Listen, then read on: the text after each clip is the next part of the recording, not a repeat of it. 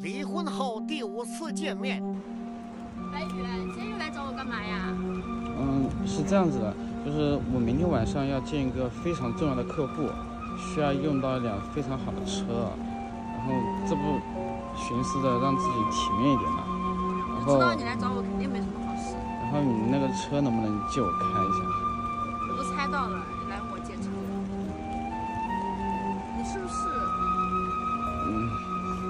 那我我也没车，我没办法呀。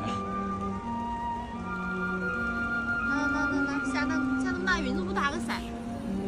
没事，你自己打吧。嗯哎，等一下，你是不是用我的车去约别的小姑娘啊？怎么可能啊？我现在哪有经济实力啊？而且儿子的抚养费你还要帮我付那么多呢，不可能的，你别瞎想了，好吧？那行吧。谢谢老婆。好不好？我们都已经离婚了。嗯，其实，在我们离婚的这段时间里，我反思了很多，也认清了自己。